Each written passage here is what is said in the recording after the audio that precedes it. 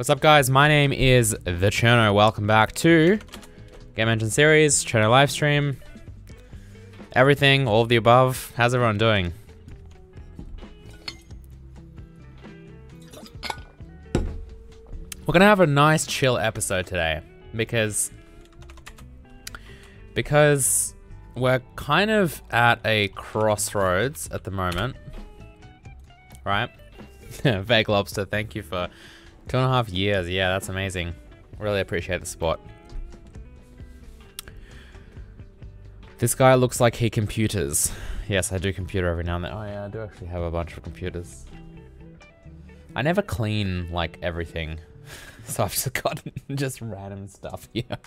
I should probably try and, like, make more of a set. Actually, if you guys aren't careful, you're gonna wind up with me, like, being one of those streamers that have, like, a green screen. I'll have like a green screen behind me and then you guys won't see anything. It'll just be all just me. Just me and some fake background. Is that what you want? Um, so today, I mean, let's take a look at the roadmap because the roadmap is, is always good to look at. Um, because this is a project that I only ever really think about once a week uh, and that is during these live streams. So it's always good to look at the roadmap to first of all see what on earth is going on, and then for the people watching on YouTube and who aren't paying as much attention as I am, it kind of catches up. It catches you up with what we're doing. So, I mean, what's this? Backlog stuff, joints, constraints, okay, whatever. Um, yeah, I mean, we're basically done with C Sharp, right? Like, uh, with, like, Mark 1 of C Sharp, right? With, like, our very first kind of, like, our very first pass through C Sharp, minimum viable product, first vertical slice, all of those terms, uh, we're kind of done. We can technically use C Sharp to make games. And that's kind of where I really want to move on to first game. So what we're actually going to do, hey Electron Diffuser, what's up? Haven't heard from you in a while. How's it going? Um, what we're going to do today, really, is we're going to uh, we're not going to start on the game. I want us to start on the game next week, right? So next week, during our regular stream time, what date is that? That's like the 21st. Okay, so next week during this regular stream time, we're gonna basically start planning, like working on a game inside Hazel 2D, which is gonna be very exciting.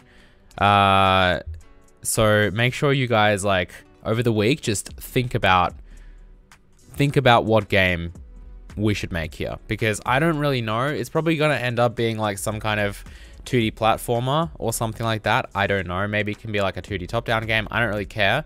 The purpose of us doing this is just so that we can kind of flesh out the the C Sharp API and make sure we have something that more or less works, right? Because after that, we're going to probably move on to Vulkan I mean, I mean, I don't know. Like, I, I do want to get Vulkan in relatively quickly. Like, before we work on more rendering things. But we also can do, like, an asset system first. And maybe even, like, um, packaging or whatever. Because what I'm thinking is, if we go down that route instead, it means that we can theoretically, like, ship this game, right? Uh, even though it's not, like, I'm not going to obviously spend, like, a year working on this game. It's going to be a quick one. But it still might be cool to just actually ship something small, you know, with this engine. And if it obviously supports OpenGL, which it does, we can just use that for rendering. Uh, and then we can flesh out some of the other systems. I mean, we probably need to add audio as well, to be fair. And we may want to explore, like, other platform support. But see, for example, like... I don't know if I want to, uh, we might have to switch to something else other than OpenGL for that. But anyway, Oh, what did I just do? I don't know what I just did. Whatever. Uh, so yeah, like I mean, eh, it's kind of like th there's a few different ways that we could kind of na navigate this and, and get through this work. Um, but that that's an idea, right? So anyway, the ne the next really big thing we're gonna work on is the game. So what I want to do today is I basically want to just go through everything we've done and clean it up a little bit and make sure we're ready to actually begin working on uh, the game. And what's that, what that's going to involve as well is we're actually going to merge this back into the master branch. So at the moment on GitHub, where we have our project, um, master is like four months old ish. I think. July 12th was like the last commit. Um, we're on the scripting branch. And that's what we've been like two weeks ago when we had the last episode is when we last committed to this, which was C Sharp debugging. Um, you know, at this point, like we should basically merge scripting back into master. Uh, and then just delete the scripting branch, and then we can start on the game. Because I, I definitely don't want to make the game like in the scripting branch. Like I want to kind of make it in master. I mean, I don't know if I'll make the game itself in master. I'll probably commit it to a separate repository. I mean, projects. Projects we probably should set up before we start making a game though. Maybe that's something we should add. Um, we probably should. That's a good point. Uh... Let's just do like project system and teen to gay. Thank you for the prime sub. Appreciate the support. Sorry, I have no idea how to read your name. Um, yeah, I think I kind of want to do project system before we do the game, right? So, uh, create create projects. Projects. Let's just do that. And then we'll add like a little to do. So, um,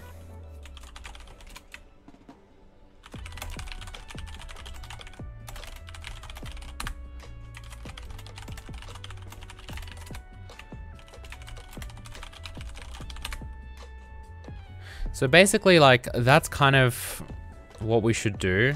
This is obviously using UI as well. Um, the reason is, like, that the, it's not really that difficult to set this up. Like, really the only thing that this needs to be able to do is, like, store project-specific data in the project file, right? So we need to have projects so that we can, like, basically, ha like, have a context for many project like specific things, right? So for example, what C Sharp DLL do you want to load? Where I where are your assets? That kind of stuff, right? For that, we really do need some kind of like project structure so that we can differentiate between what might be like a sandbox project and what might be like a game that I'm working on. Obviously, like we need that system. So I think I want to do that before we actually start doing the game. Um, and like, to be fair, like we could smash that out right now. Um, I don't think I want to though. So let's do this next time. I'm gonna add a little uh, 21 slash 11, which is just gonna mean 20, 21st of November. Sorry for you Americans who write your month first, but 21st of November is when I'm kind of scheduling that. Um, and then actually, this might be good because I'm going away for a while. So I'll be gone. Yeah, so like 21st of November, we'll do the project system. 28th, I'll be gone. And then 5th of December, we can start this, right? So I'm actually adding, da adding dates to this because I'm serious about this. So today then, so we'll do this next week. Today then, let's actually go through scripting, make sure we've got everything, and we'll merge back to master. So merge into master, right? So this is what we're going to do today. Um, yeah, sound good? I'm excited to get this stuff done because once we merge it back into master, that basically, means it's done. But for that to work, we also have to make sure that um, things do generally work, right? So this is just going to be a cleanup episode, but also I want to make sure that we kind of QA this a little bit uh, and make sure that like we can, you know, not crash in any circumstance basically or any like you know i'm sure there will be bugs but it you know it's it's um it's still kind of we, we still need to test it as much as we can. So going through this, I mean, if we think about what what what we've actually changed, and when we do the merge, we can actually see a diff between the two branches if we want to, and that way we can obviously see uh, if there's anything that like, you know, we can go through that basically. It's almost like a big kind of, it's almost like a, like a code review at that point. It's like a little merge merge pull request that someone's like submitted, and then we'll go through and we can kind of uh, validate all of that. And actually, I guess we can do that today. But before we do that, I just want to go through this and actually make sure that um, this code is relatively clean. Because if we look at this, like script glue and script engine, I mean, everything in the scripting uh, folder, that's the majority of what we've done. I mean, obviously we've done other stuff. Like for example, uh, I think as part of this, if we go back to GitHub real quick, I think as part of this, because we've done, it looks like we've done 12 commits here. um, in the C Sharp branch, right? So basically, like, and we can see the diff here as well, but you can see that it's not just like the um, initial C Sharp uh, engine work, internal causal scripting work, but see, then we, we also did other stuff like, uh, this is all script, scripts related, um, file watching, yeah, like pausing and stepping, for example, has nothing to do with scripting, right? That's just us being able to pause the runtime and also step like frame by frame. Um, so, but I, I, guess aside from that, everything else is pretty much related to scripting. So there's actually not much other stuff that we've done, I guess. Um, and you can see we can actually merge this uh, automatically because there's actually no difference. Like, I don't think master has a, has a single commit that's gone into it what like since we diverged into script into scripting. So like obviously that's kind of fine. Um, because what we've really like done here is like if this is like the master branch and then this is like the scripting branch what we've done is we've been on master and then we've kind of branched off into scripting and we have like all of our commits, right? And then like that's it. Like master does not have, you know, any of its own stuff at all. It's like exactly the same as this. And so therefore, when we merge back, it's almost going to look like we didn't even branch off ever. Like we just always stayed on master and committed this stuff. But the reason obviously that I made the branch is because we wanted to keep master stable because that's like our release branch. And then we want to do all of our kind of dodgy work that is work in progress uh, inside this kind of separate scripting branch. So that's that. Um, but again, before we begin the merge, which again should be very easy, because you can see that it's just, it's it's not really a merge. There's nothing to merge. It's just basically setting master to be scripting uh, in a way. So, but before we do that, I just want to go through everything. And again, like everything in this kind of scripting, uh, in case you guys can't see it, uh, everything inside this scripting folder, like we've kind of added these files. They're completely new in the scripting branch. So that's kind of what I'm primarily going to focus on. So if we go through, um, and then like what I'm kind of looking for here really is code, like I, we've tested this reasonably well so far. Like I don't think there's any major problems. I think the only thing I can think of is that if you try and, if you actually like, if you make changes to the assembly while the scene is in play mode and you build it again triggering a reload that will crash. Um, which we can just disable. Like as in we can just be like hey you know if you detect a reload like as in if the file watcher detects a change the file's been modified but we're in play mode just cue that reload for when you stop um, so that it doesn't do it during runtime and then cause a crash. And then eventually, if we really wanted to, we could make it probably work in play mode, but that might be a little bit complicated because it, it depends what you've changed in the assembly. Because if you've changed a lot, then, then, you know, like what happens if you completely got rid of an entity script? Like, the engine's going to have to respond to that. So it's a bit of a slightly bigger feature.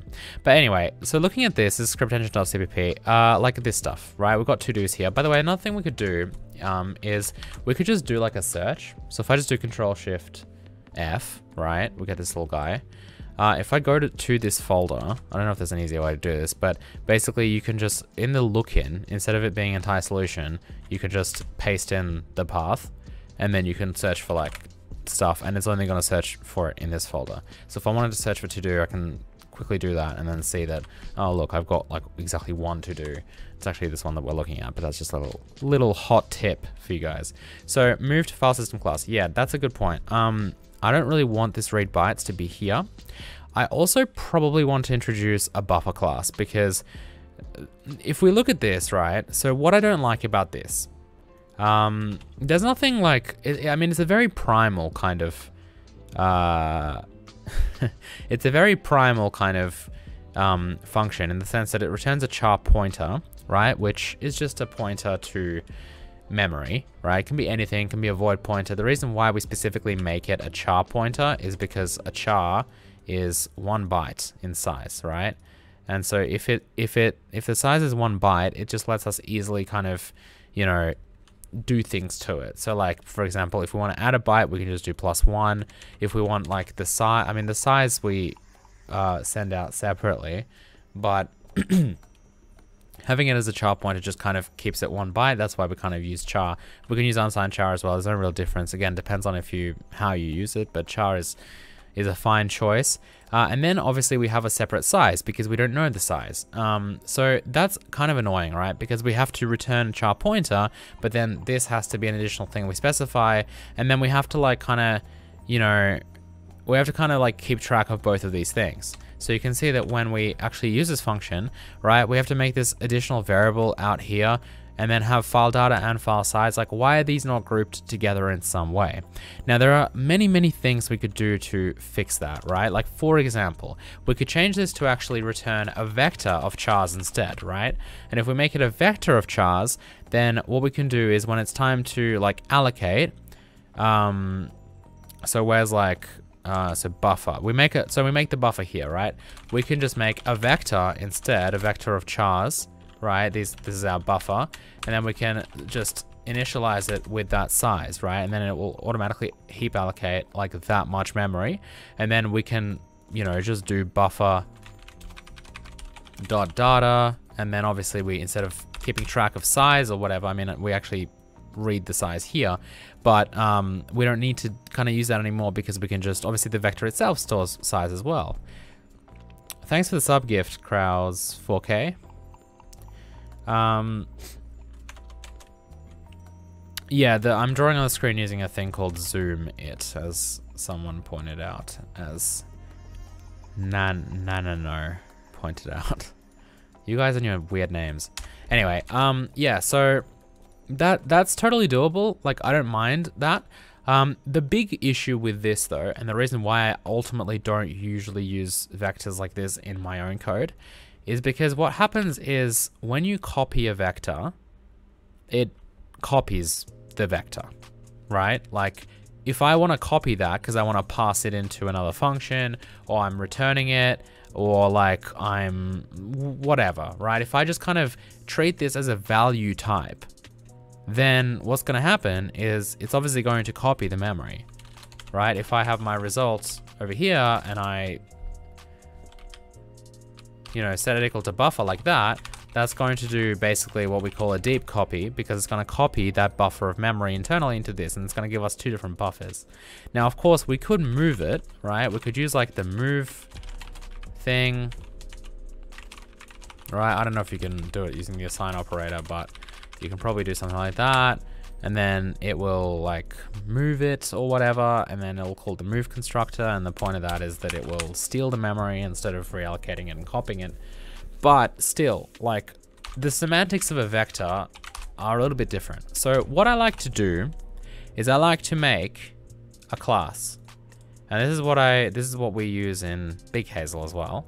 And I make a class and it's called buffer. And what this is is basically um, a little wrapper just around a, around an allocation, right? Or not even an allocation, really. It's a buffer. It's a non-owning buffer. It's a non-owning class. it's a non-owning buffer, we'll say. Um, and I can usually I just make it a struct. Uh, that yeah, basically doesn't own the memory at all, but it references it and it stores its size as well.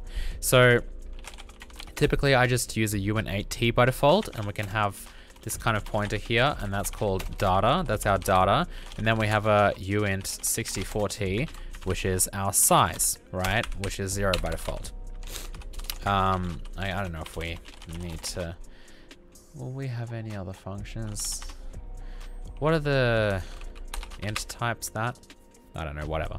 Anyway, that's basically what the buffer is.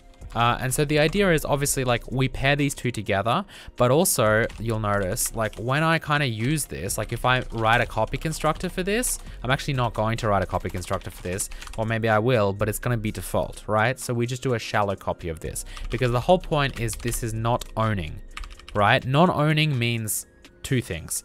It means that when you copy, you don't copy, right? So I'm not going to do a deep copy, meaning I'm not going to actually copy the data at this pointer, at this memory address. I'm not going to do what's called a deep copy, right? I'm not going to allocate a whole new buffer for myself and then copy all the memory across from the, you know, from the source object of my copy.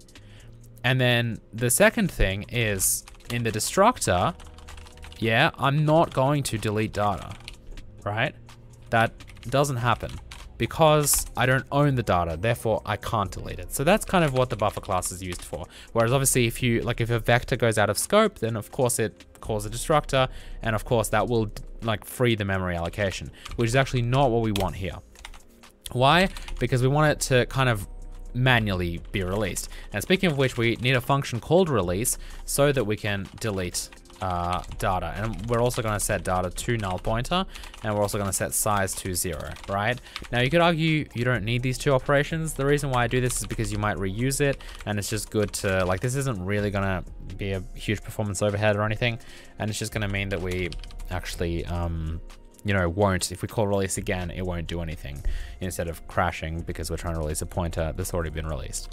Um, yeah, and that's kind of it. And we can add so much API here. Like I think the buffer class in Hazel is, a is like a couple hundred lines of code. Like there's a lot of stuff here that you can do and I'll show you some of it right now.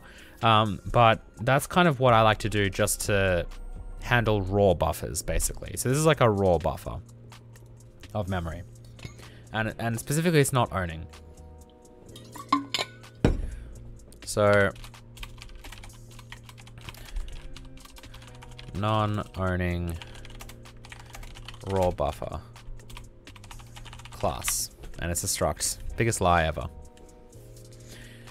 Um anyway we might expand on the documentation later. So uh how do we make this thing? Well we can have a default this uh constructor which will do absolutely nothing. And then i think we can probably like have a constructor that will allocate right? So I could make one of these guys, and so that's gonna store size, and then it's gonna do, uh, maybe we can just do, uh, how about we just do allocate size, right?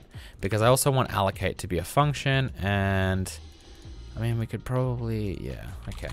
So allocate, void allocate,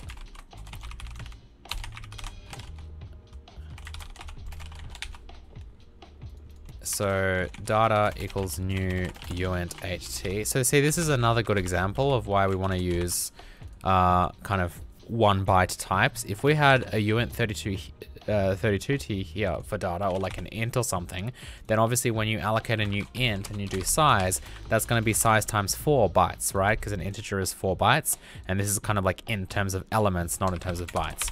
So we kind of like to keep things in one byte types like this when we're dealing with buffers usually so that like the element count and everything specifically uh, kind of corresponds with the size in bytes. And then we'll also set size to size. All right, um, so that will just allocate that. And then we can call this function anytime to do that. Now, here's the thing. What if we call that again, right? Well, we want to release first. So this is getting a little bit like, this is where you really need to draw the line on how to use this class properly. I'm going to go with like an ultra safe thing like a, an ultra kind of safe way here. Like I don't want to take any chances in terms of like memory leaks and everything. So uh, what I'm what I'm saying is that every time you call the allocate, allocate function, it will in it will in fact release, right? So if we look at what happens in the beginning, let's say we call the constructor with a size of four. We want to allocate four bytes. Then what's going to happen is it's going to call like this gets initialized to null pointer and to zero. Allocate gets called. Release gets called. It deletes this, which is null, so it does nothing, sets it to null, sets it to zero, right? So it's a little bit redundant, but it's also something the compiler will probably clean up a little bit. Um, and then what do we do? We do the allocation, we do the size. So it's a little bit redundant in the, in the, sense that by the time we actually get to this allocation, we've initialized these guys twice, basically. Once in the constructor over here, when we've done this, and then again, you know, when we've released it. So again, because of that, like, I don't know if I necessarily want to go down this road.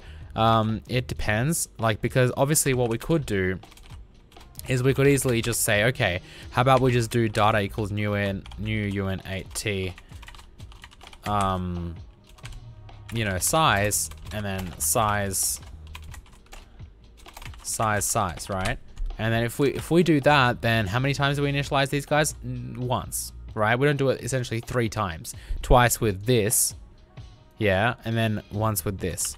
So it's up to you how you play this. I would say that from a code like point of view, and you know, if we want to be clean, then obviously calling this is better in the sense that now we're not allocating in two places in our code, right? Here and here. We're actually just allocating in a single place in the allocate function. So if we want to see like, oh, what happens with the buffer? When does it allocate? We can put a breakpoint here. My point is all the code obviously flows through one function. That's a lot better. So this is a bit of a trade-off between, I guess, theoretical performance and like wasted cycles and um, how clean you want your code. Uh, so what I'm going to do is I am actually going to do it this way, right? I am just going to call allocate. It's just going to it's just going to be easier, um, and I don't think uh, it'll it'll I don't think it'll be too detrimental to the performance. Okay. Um, Right, so we basically have a good baseline here. Of course, if we want access to data, this is a struct, so this is all public, so we can just access the data. Easy, right? We don't need to make any getters, any setters, nothing like that at all.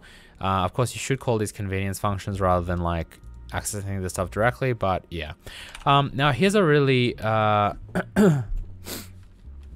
here's a really um, good kind of uh, use case here. Like, what if we want to access this this, but we don't want it to be a uint8t, right? Because I've specifically said data is uint8t, right? But what if like we want it, what if it's, what if this is actually a buffer of floats or a vector or something?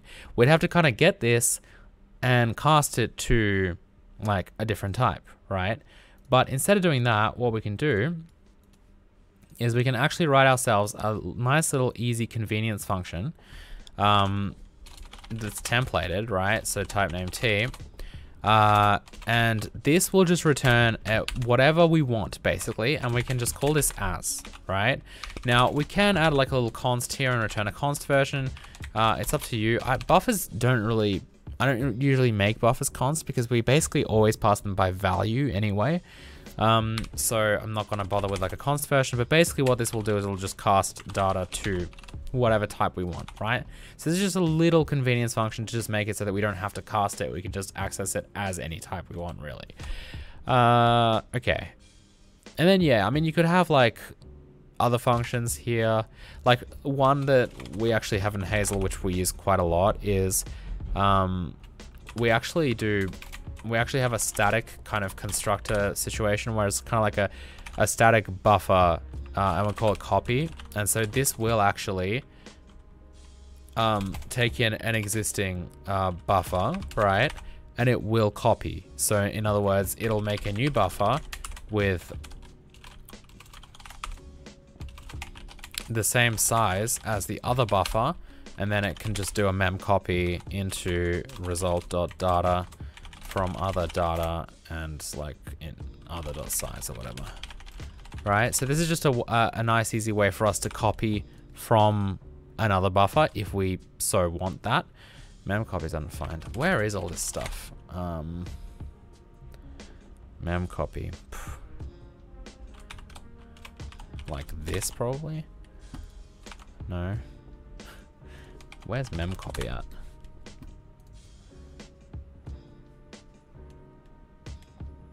Uh, ah, Standard IR, really? Or is that just being weird? Let's see.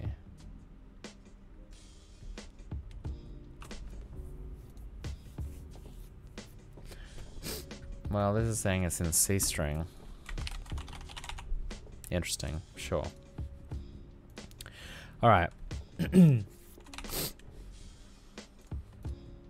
okay, so yeah, um, and that can just copy an existing buffer. So in other words, the copy constructor does nothing. It does like a shallow copy. So it'll copy the pointer value, not the actual pointer data. Just like it'll copy the memory address itself uh, and the size, right? But it won't actually do a deep copy like this. Like you have to explicitly call copy if you want that to be done, basically. Um, anyway, like we could flesh out this API even more. Obviously, there's much more stuff to add if you so desire. I'm not going to bother with that. Instead, if we go back to here, let's convert this to use our buffer class. So we no longer need an out size, right? Because now that's stored inside the buffer. Let's go ahead and include uh, Hazel core buffer. Um, now, what do we do if we fail to open the file? Instead of null pointer, we can just return like a blank buffer. So remember, we have a constructor. Sorry, we have a, uh, yeah, we have a default constructor over here, which will just obviously initialize the members with these values, null pointer and zero. So speaking of which, it would be nice, you know, because obviously like read bytes, I think we check later to see if file data is not null. I mean, actually we're not over here. Um,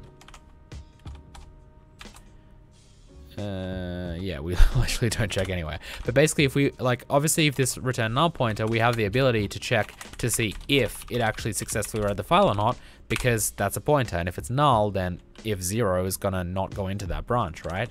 So we can check that. So we wanna kind of retain that functionality. So what we can do is actually add like a operator, I think it's just operator bool, like that, um, const, and then like const because it doesn't need to to be modifying. And basically what this can do is it can basically, I don't know, you can do whatever you want, like return data or size because they should be, you know, they should both be zero or null. But basically if you just do this, then it means that now what we can do is we can return like just a new empty buffer, which you can write either like this, or if you wanted to, you could you could write it like that. It's up to you.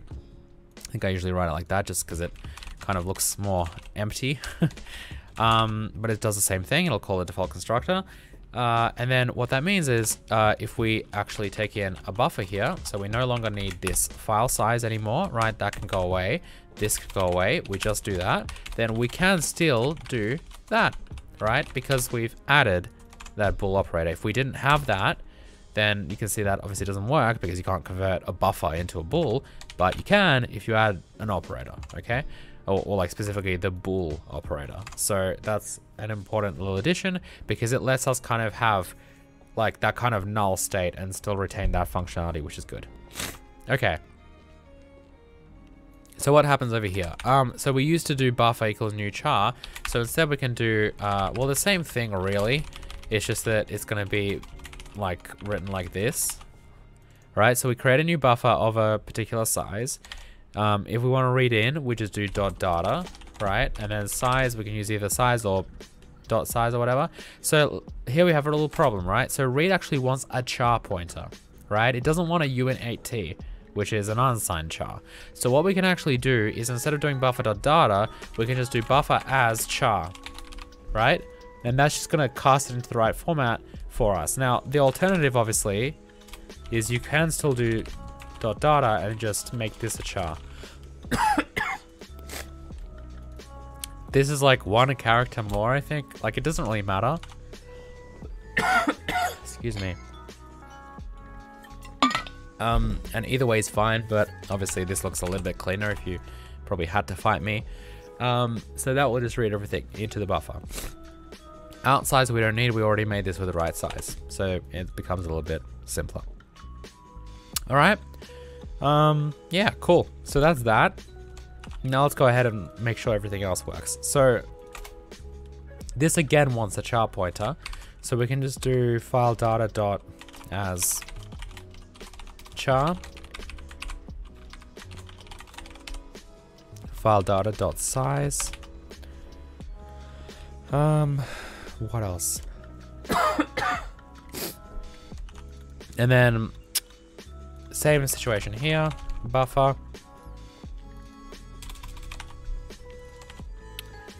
And see this, it wants it to be a const monobyte. So we can grab that and just do it as const monobyte.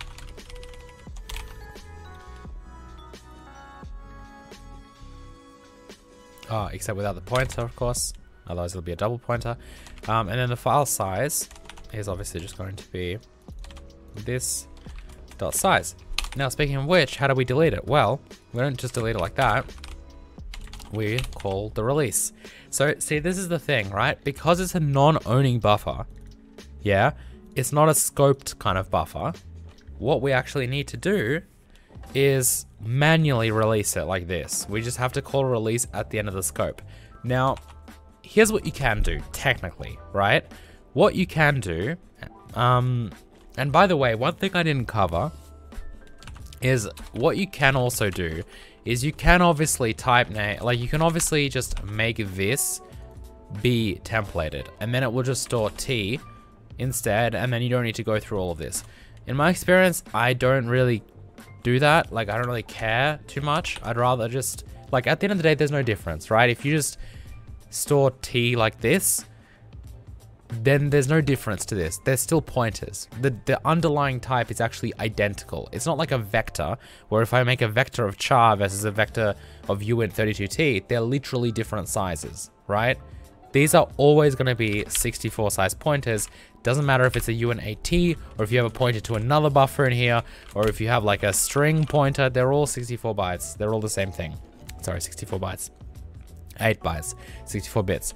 Um, so in other words, I just do that to keep it more simple because if we start actually dragging in a template into this struct itself, that means every time you create a buffer with a new type, it's going to literally copy that class and your binary size will grow and it's just unnecessary because at the end of the day, the data is the same, right? So that's why I do it that way. But keep coughing.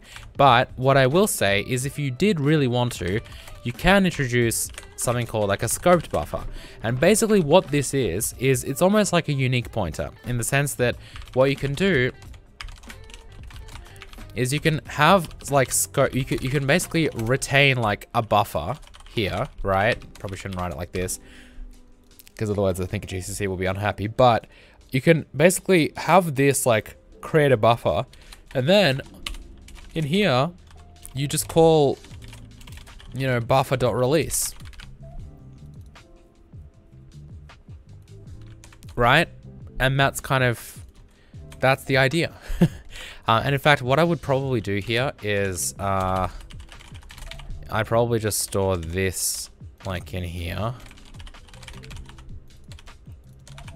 Uh, and then obviously, and then we can basically wrap everything if we wanted to. So like size, we'll just do m buffer size, right?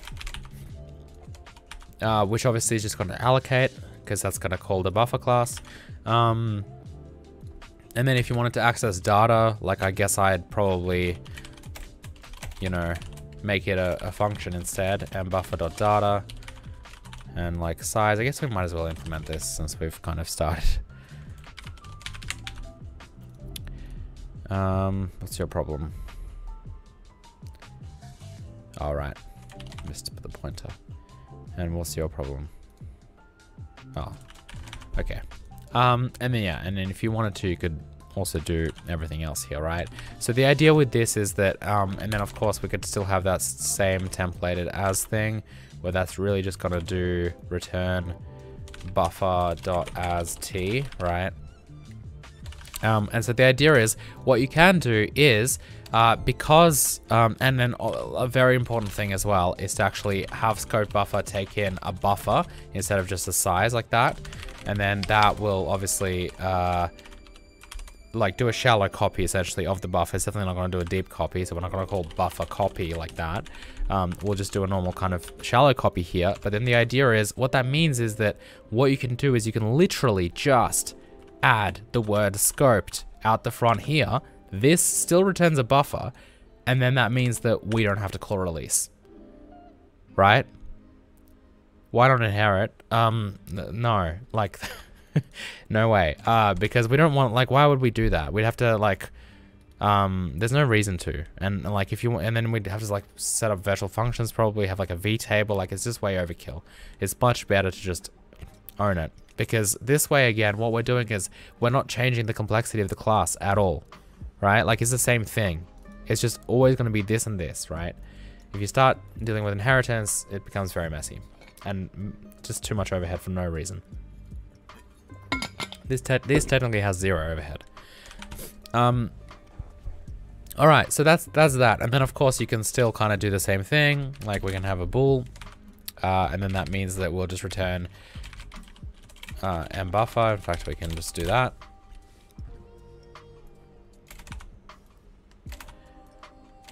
I wasn't actually planning on implementing this. I was just going to show you guys how to do it, but I guess we've done that. Um, release, we're not going to call because it's going to happen here. I mean, you can, I guess, but I guess I won't. And then allocate, like I guess we can reallocate a scope buffer if we wanted to, but whatever, we won't do that for now. Um, yeah, so that's that. And then same with this, right? So you can see file data is also something that we end up actually releasing at the end of the scope, right? So instead of doing that, we could make this a scoped buffer. Now, okay, if I'm doing all of this stuff, then obviously I'm going back to like, why didn't you just use vector? Or why didn't you just, um,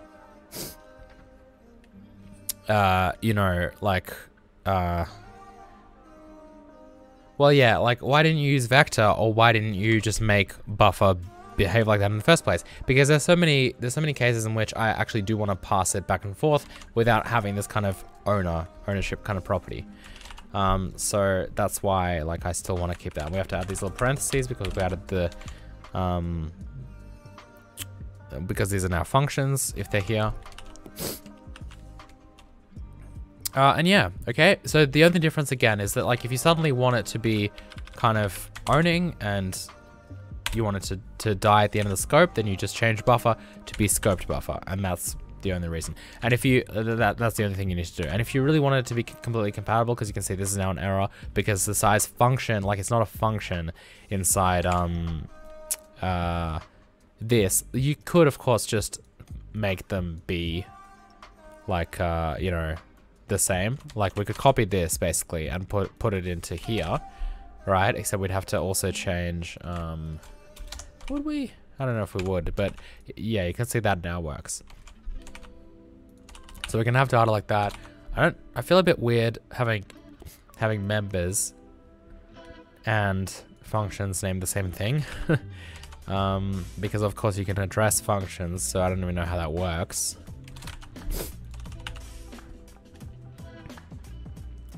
Like, I'm surprised that compiles.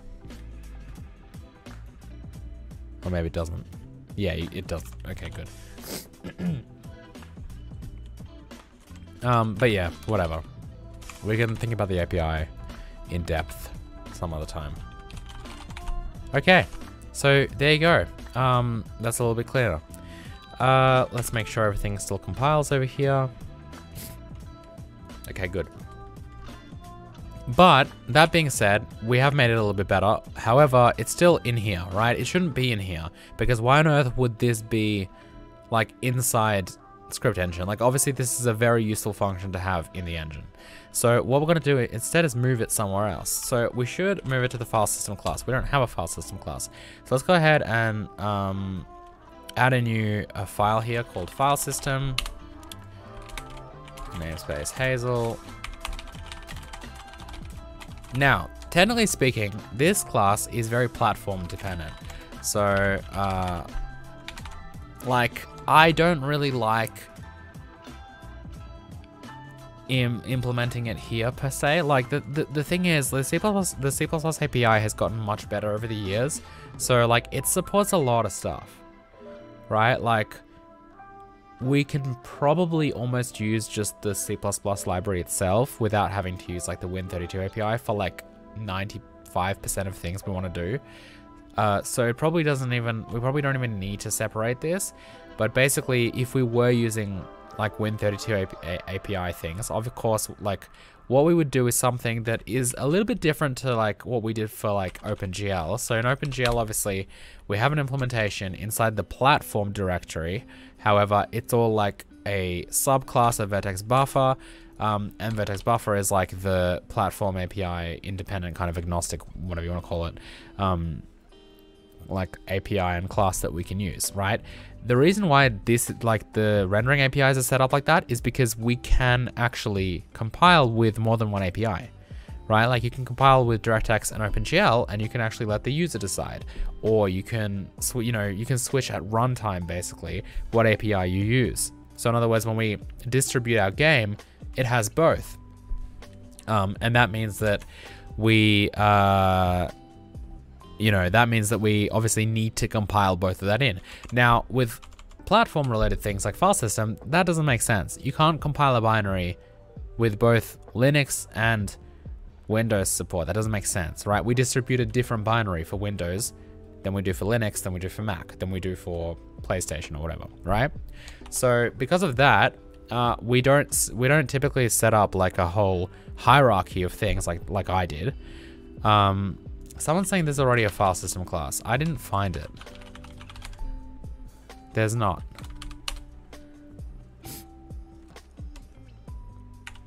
Unless the master branch is different. Uh, which it would be weird, but whatever. Anyway. I guess I should probably check that. Um, but anyway, so what I was saying was, uh, yeah, like what we what we do instead is we can't just have an implementation here of a function that might be like, you know, read file. And then if we wanted a Win32 API version, what we would do is in the platform under like Windows, you know, we'd make like, um, you know, some kind of like this, for example, right? Which is clearly like a Win32 API only function. We can implement this open file thing. I mean, we've already done this with like platform utils, but we basically only compiled that version of the function on Windows. And then for like Linux, we have a Linux platform utils or a POSIX platform utils or whatever, right? That has uh, the kind of Linux API implementation implementation of that function because the idea is we only have like it can literally be an implementation of the same identical function because we only provide one implementation per configuration that we compile which is again different for the rendering APIs so we might talk about that more in depth when we start porting to like Linux and Mac and whatever um, so in platform utils uh, there's not there's no I don't know what you're talking about Unless, again, master is different. But I, I don't think master is different. I'd like to view the... be good if I could view... Where is this thing?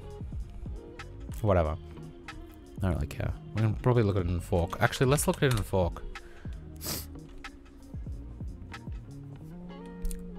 Uh, yeah. I mean, you, there there is no divergence between master and scripting you can see we're literally on the same path because there's no, there hasn't been a single commit to master since we switched to scripting. So there is no file system class. You're full of lies. Okay, so, um, anyway, so, so for now we probably won't worry about this just because again, we're only really going to use the C, the, C++ API, like the portable kind of uh, API that will work across all platforms that have like a C++ 17 plus compiler. Um, so if we go back to like script engine, then let's basically just, yeah, grab this. We'll cut it out of here. Um, we'll go back to the file system class and we'll put it here. Okay, so let's obviously implement this in a CPP file.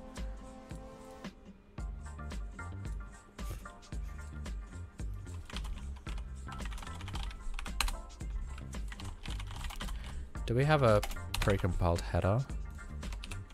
Yep. I don't even know.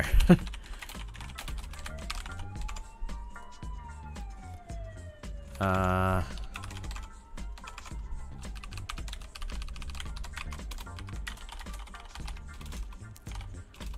System.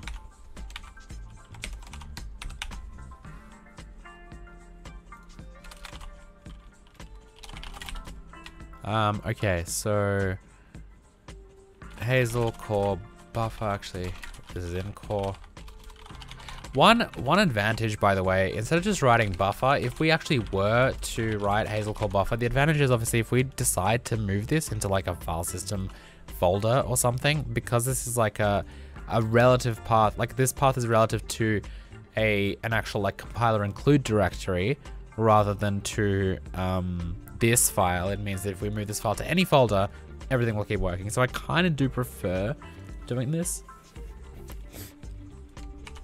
But anyway, so there's our um, read bytes, and then here it is. Um, let's go ahead and implement that, and yeah, that's it really. So now back in our code, uh, inside file, inside script engine, we can just change this to be file system read bytes. Um, we'll include file system, of course.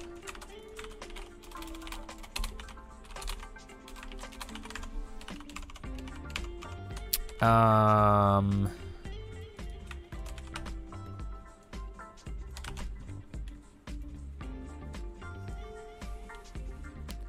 I don't know if read bytes is a good name. The reason why we stuck with read bytes is because that's what Peter wrote in his uh, mono documentation, which we kind of followed. We, we copied the first initial example from there.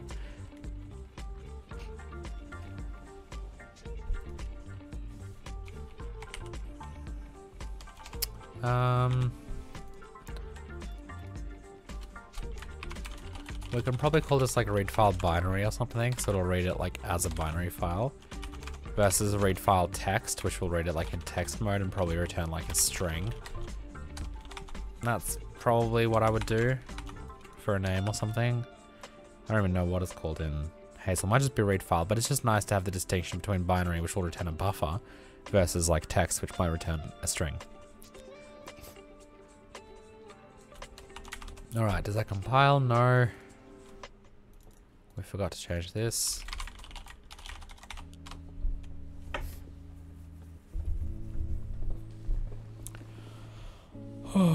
Alright. Cool. Seems to work. Um, we had a few compiler warnings that I just want to go through. So let's see what, what we what we have here. So type cast conversion from uint to im texture ID. Uh, okay. That's a bit annoying. Of greater size. So I think the reason why it's upset is because we're doing a double conversion. So if we just do this instead, which looks ridiculous, I think it'll be happy, yeah. We probably should just make image button accept that, to be completely honest. Actually, no, that's ImGui's function. Sorry, I thought it was ours. Like I thought, we, I thought we wrapped it. But I don't know. I probably won't bother just because rent like we use we're using like 32-bit OpenGL render IDs IDs here, whereas if we switch to Vulkan, obviously that won't be the case.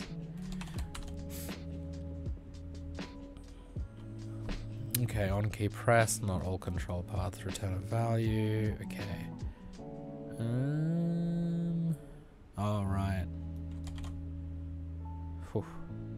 That will return false. I don't really want anything else to, I don't want it to block any other events. Okay, fix some warnings. Let's actually do a rebuild just so we can see if we've got any other serious warnings. Is there any reason you haven't switched to something other than STL, maybe EASTL? Um, there just hasn't been a reason to. Like, I wanna, I want us to get into, like, if we get into, I don't know why that's, oh, because of script, because of Premake or whatever. Um, like if if there's gonna be like you know, like eh, I'd rather us get to the point where I can at least demonstrate to people the difference between the two. Not that I've really benchmarked them in years, but um, it would be good to you know to first have a problem and then present a solution to it rather than just presenting solutions to non-existing problems.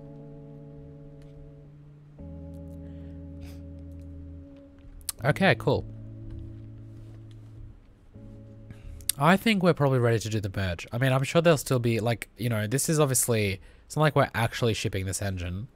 So there'd be a bit more, a bit more of a rigorous QA process, process if we were.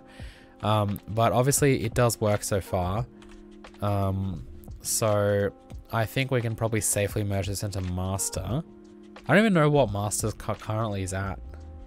Let's let's let's actually see. So if we just um, go back to fork here, and if we do, well, let's see what we need to commit here.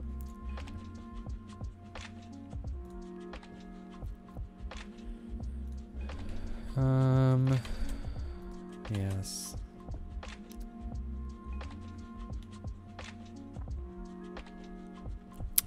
I mean, okay, yeah. Sure. Well, that's that doesn't really matter, does it?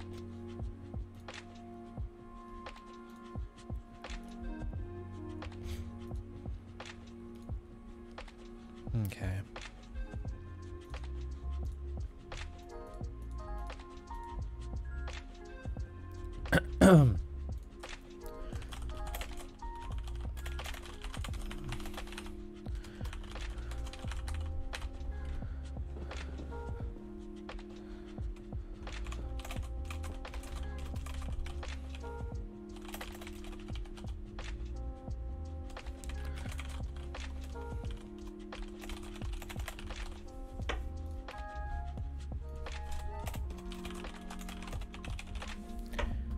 Okay.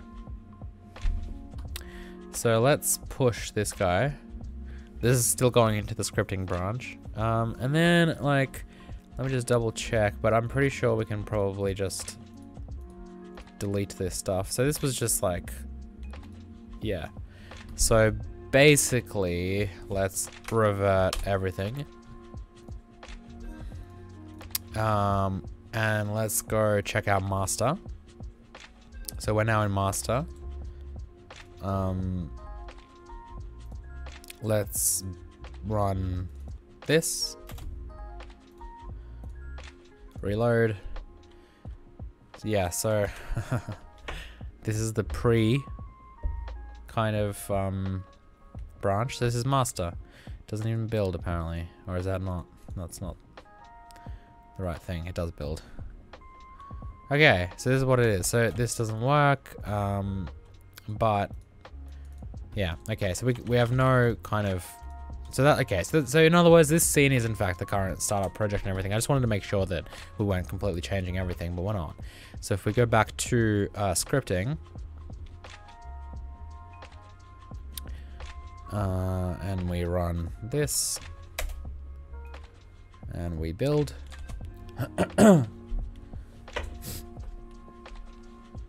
What's up, Taiwan?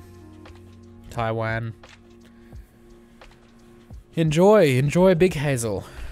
For the rest of you, patreon.com slash the support the series and Hazel and get access to Big Hazel and play around with it.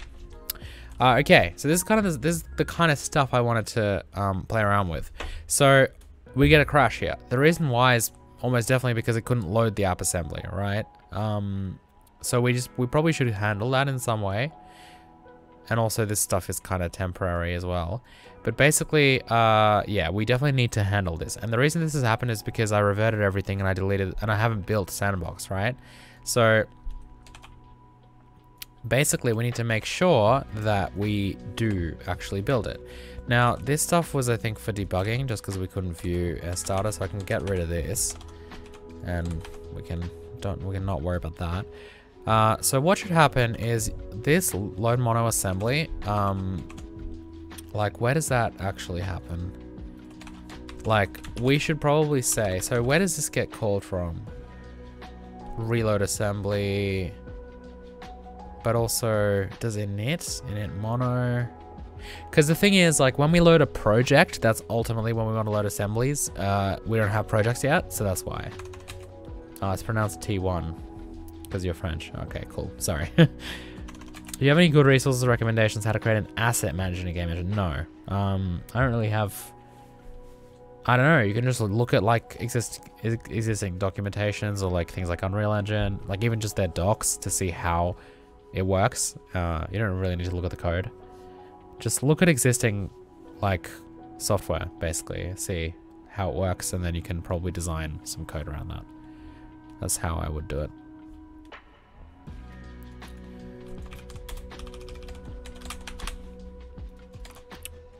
Okay, so I think we call reload somewhere.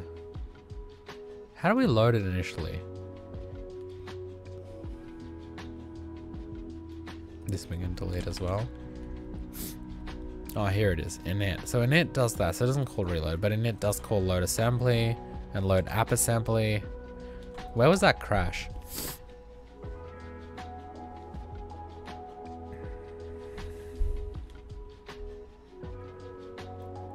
In load up assembly. So yeah, so when it tries to load that, so this should work, but I guess that doesn't. So load app assembly. So let's see. So if that, we can just add some basic things here. Return bool instead, so we can return a state.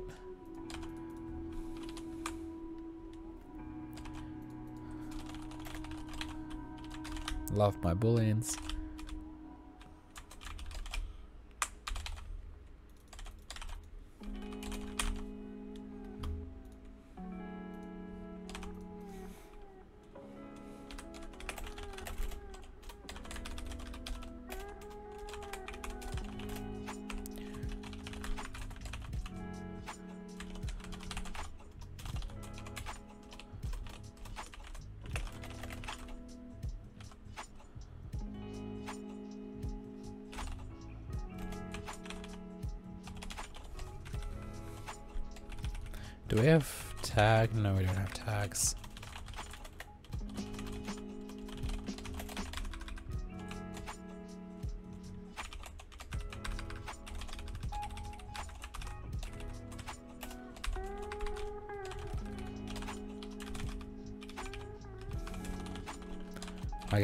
Just return.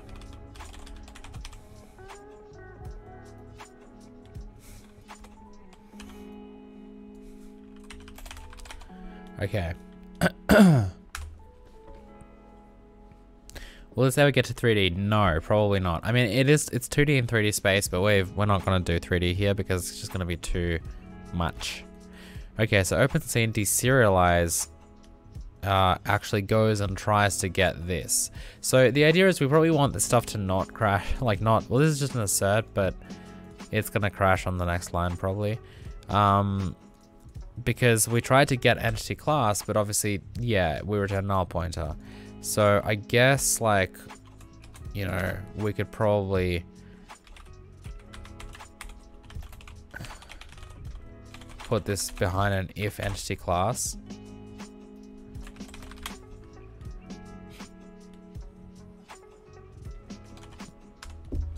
This is why it's good to, yeah, to do this. So, right, so at the moment we're actually not loading the assembly. Yeah, could not load app assembly. Um, and we can probably print that somewhere here, but the idea is you can see it's still opened. And if I hit play, for example, right, this is another example of like, I mean, but this is more of like a, an assert, but I'm assuming it's gonna crash. Yeah, it's null pointer, because it's trying to call script instance. So we probably don't want this to happen. Um, so s data entity instances find, and because it's going to try and do that.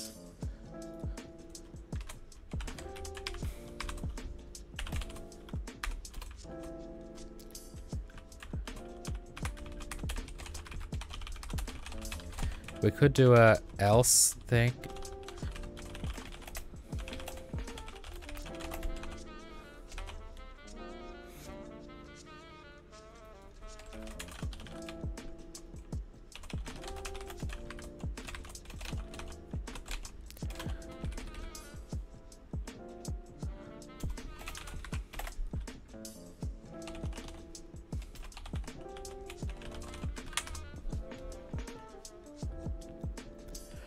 I'm loving ray tracing series. Year ago, I wrote my first path tracer on CPU. Now it's time to port it on GPU. Can't wait to see how you will implement it on GPU. Sorry for bad English. Yeah, yeah, English was fine. Um, uh, yeah, I'm excited as well for that. Honestly, like, I'm trying to keep it see as like I I probably won't move to the GPU too soon just because it's, it's just a lot easier on the CPU. Like the problem with moving it to the GPU is we're going to have to add a lot of like Vulkan code um because obviously like i I'm, i want to actually use like rtx cores and stuff for that. So we're going to actually use the ray tracing pipelines. And there's uh, it's, it's very easy. It's just a lot of boilerplate code. Um it's so like like at the moment it's really easy for us to focus on the way it actually works without having to be like, okay, guys, for the next like five episodes, we're just going to be writing code that isn't really related to like the ray tracing algorithms. It's just us setting up what we need in Vulkan so that we can like, you know, have acceleration structures, have shaders, have like, you know, the ray tracing pipeline, have like, you know, shader binding tables and whatever else we need. Like there's a lot of stuff. And again, it's not, it's really not hard. It's just a lot of stuff. So that's where sometimes making stuff in video format is a bit annoying. Although, I don't know, maybe I'll just be like, just download my code that I already wrote for you guys, and we can, that way we can actually focus on the contents of the shaders rather than how to load shaders. So yeah, we'll see. All right, cool. So you can see this works. We can't control our character, obviously.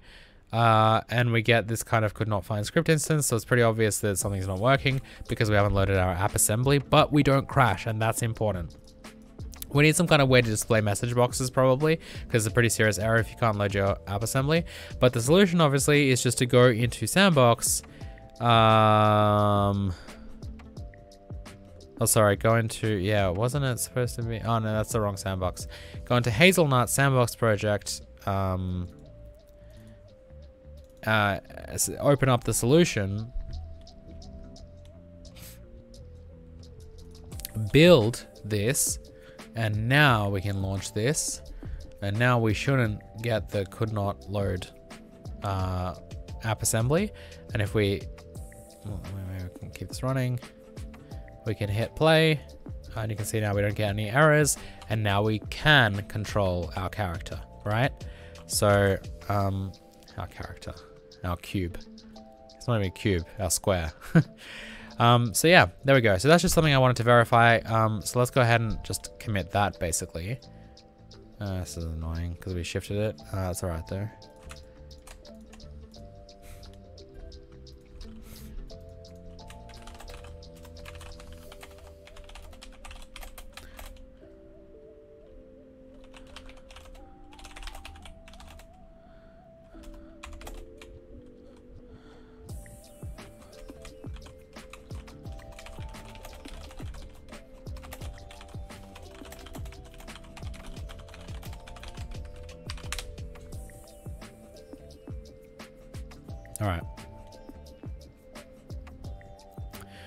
Okay, and now um, what we can do is we can just check out master.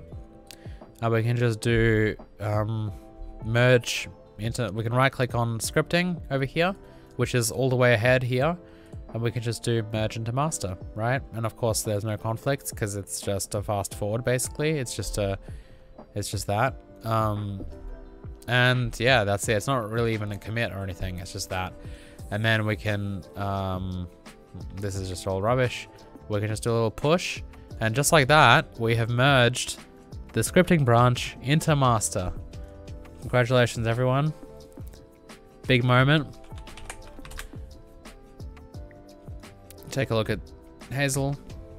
You can see we're in master and all of this stuff is now in here, right? Because we've merged it into master and we could now delete the scripting branch. And if you actually look at the commit history,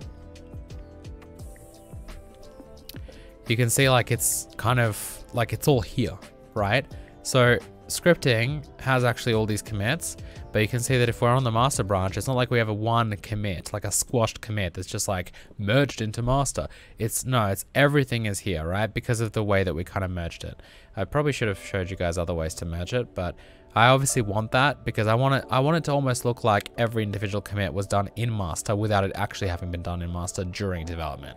And that's what we can do just by like fast forwarding like that. Um, rather than like, I mean, this is, this is up to date, but see, you can also do like a squash merge. Uh, you can create a merge commit. Um, I don't know, don't know what merge without commit is, but there's a few, there's a few different options. All right, that's it. So what I want you guys to do is I want you guys to go ahead and uh, grab the master branch of Hazel 2D and test it. Now, you will have to build Sandbox, otherwise it won't work properly. So in other words, you'll have to go into like hazelnut slash sandbox project slash like assets slash scripts slash sandbox.solution, open it, build it. Once you've generated projects, obviously. Um,